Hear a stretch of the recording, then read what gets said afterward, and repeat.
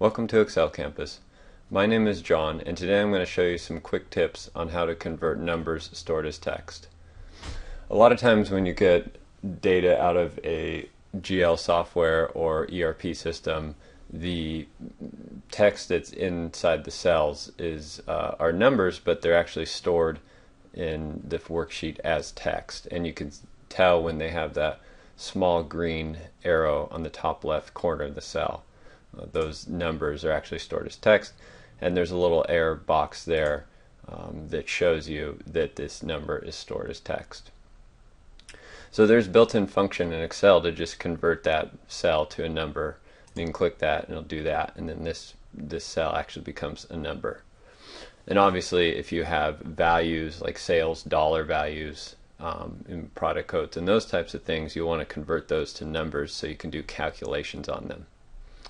Uh, this is also useful if you're doing VLOOKUPs and uh, some of your lookup or references are stored as numbers and then these new values you have are stored as text that can cause error in your VLOOKUPs.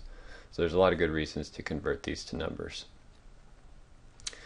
However, sometimes when you have a really large sheet of data, it becomes cumbersome because you have to select all the cells in the column or maybe all the cells on the worksheet uh, to, to then um, before you can then convert them.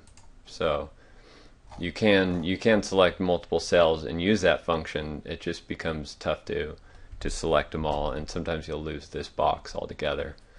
So I'm going to show you some quick tips on how to actually do that a little faster.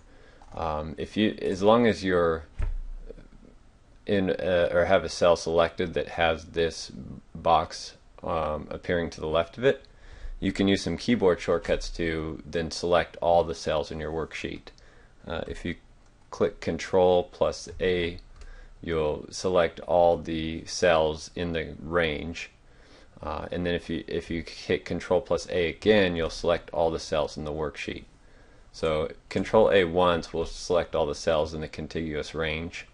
And if you have a, a blank column, like in this example, um, then if you hit Control A again, it'll select all the cells in the entire worksheet. Then that same error box should be in the top left corner of the worksheet, and you can use the convert to number function to convert all of your uh, numbers stored as text to numbers. Uh, another option, if you just want to highlight all the cells in this column, let's say column B, um, again, you want to start with one cell that contains the air and you can click Control plus spacebar on the keyboard. It's Control plus spacebar, and that'll highlight the entire column, and the air box should be at the top of the column. And you can do the same thing, convert to number. That'll convert the entire column uh, to numbers. That same feature also works um, by using Shift plus spacebar to select the entire row. And you'll see again that the uh, air, air box is over there on the left side. If you wanted to do the conversion on more than one column, uh, you could first uh, click Control plus spacebar to select this uh, column D. And then if you hold down the Shift key and use the left or right arrows, you can select multiple columns. So if we just wanted to convert these two columns to numbers, we could have those selected and then we'll have the error box up here and uh, click the convert to number and then we just we're just only selecting those two columns to do the conversion. It works the same with the, the rows as well. If you hold shift plus spacebar, you'll select the entire row and then you can hold down the shift key and use the up and down arrows to uh, select more than one row. Once you have the row selected, you could then uh, see the error box on the left side and click Convert to Number.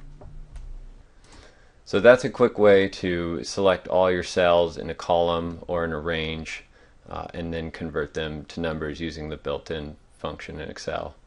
There are other ways to do this using the text to column functions on the data menu as well. Um, and you can also use formulas. You could use a paste special and do a multiplication on the text in the cell itself. There's a lot of different ways to, to do this, but I find that the fastest and easiest is to use the built-in features in Excel. It's just a matter of knowing how to select the the entire range that you want to to convert.